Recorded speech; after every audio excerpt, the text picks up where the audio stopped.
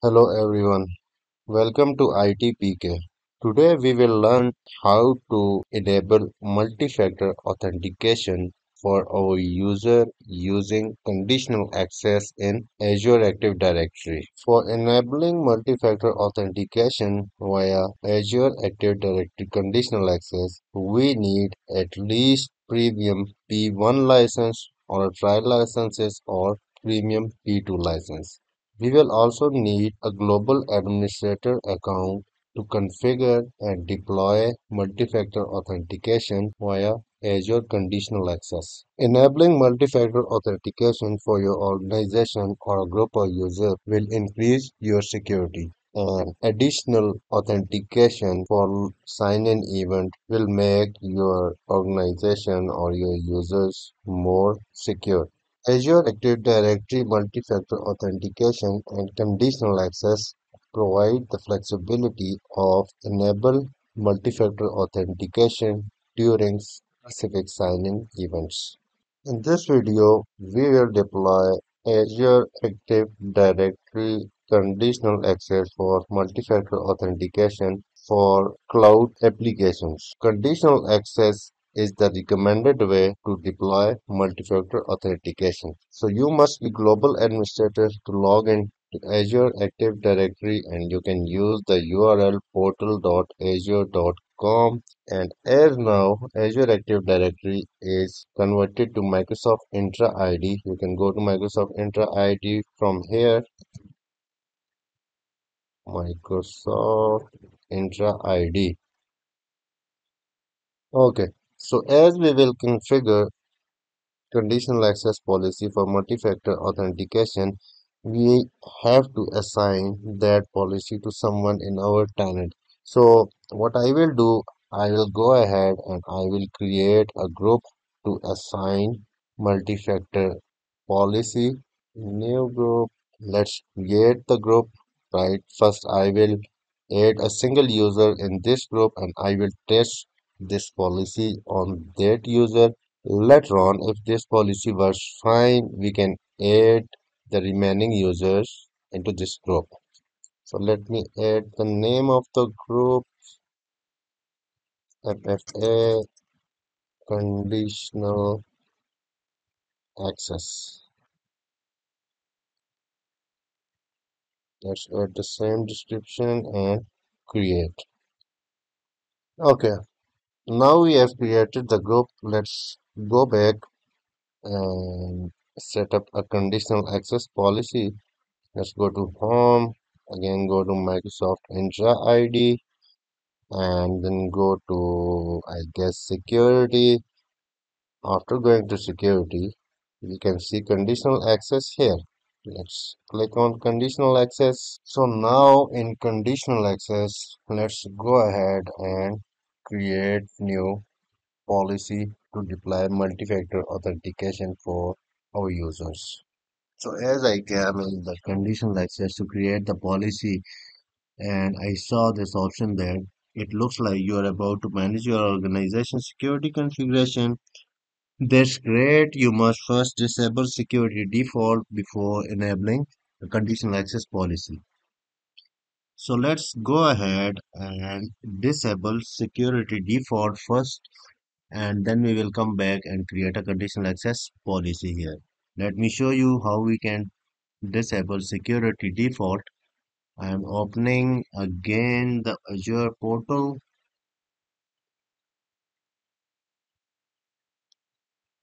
In the Azure portal, again go to Microsoft Entra ID, then scroll down and go to the properties section. In the properties section, scroll down and see here your organization is protected by security default. Click on manage security default and it's enabled. Let's disable it. Go to disable and give them the option that my, my organization is planning to use conditional access. Okay correct.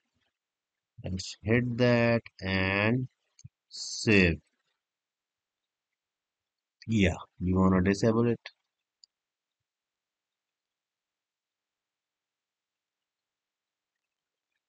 Okay now we have successfully disabled the security default. Let's go back to conditional access policy and refresh this page and see if if that caution is removed from the conditional access down here. Yeah, now that is removed and we have disabled the security default successfully and we will push multi-factor authentication via conditional access. Let's go ahead and name this policy CA conditional access underscore MFA underscore policy.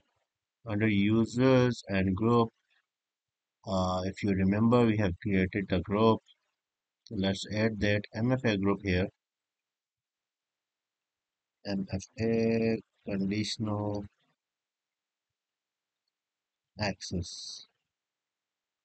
Perfect. And here, if you want to exclude any user, you can also exclude that. It's better to exclude global administrator and any other user you want that excluded. You can exclude that. Just for your understanding, let me select this user and I want to exclude this user and I want to include this group here. Perfect. In the target resource, let's go to target resources. And here select what this policy applied to. Cloud apps user actions authentication context. So here we will proceed with the cloud apps that when our user try to sign in into any cloud apps and if that sign in is suspicious user have to provide the multi-factor authentication code for a successful login. So here we have the option of all cloud apps select apps. So in the select apps you can select any app here that you want to secure. For example this is just for your understanding. I want to secure microsoft teams and microsoft teams services. Let's select both microsoft teams microsoft teams shift i got two apps. Okay. Please note that you can select any apps that is required by your organization and we can also exclude some of apps to just for your understanding I will also show you we want to exclude exchange. So that use if user will log into exchange or outlook here I got the exchange online right? And I want to exclude user who are going to log in into exchange outlook. They will not face this multi-factor authentication challenge. So I have excluded this app here. That's great. Network option. Next we have the network option that control user access based on their network or physical location configure location to apply this policy trusted untrusted location so I want this any network or any location right I only want conditional access with multi-factor authentication and I don't want to configure any trusted location or the network here. So let's make it simple. I don't want to configure this. The network options here. Okay. The next option is conditions. So we don't want to do anything with conditions. We will jump on access control and the and in the grant access we want that when the user will access that specific app which is added here in target resources user have to require multi-factor authentication to be approved first so make sure you have enabled grant access from here and then you have selected require multi-factor authentications here so hit select button to save this. So now at the end, we have this option enable policy report only on or off. If you want to see that how this policy will impact the user, you can enable report only and you can also turn off this policy but here I will directly turn on this policy as I have added a group and a few users in the group to test this policy so I will turn this on and I will hit create policy. That's it about today's simple and to the point tutorial. Hope this will help you in understanding conditional access policy in Microsoft Entra ID for MFA and this help you to secure your tenant and users. Thanks for watching. Keep watching, keep sharing and have your friends to subscribe this channel. Take care. Bye.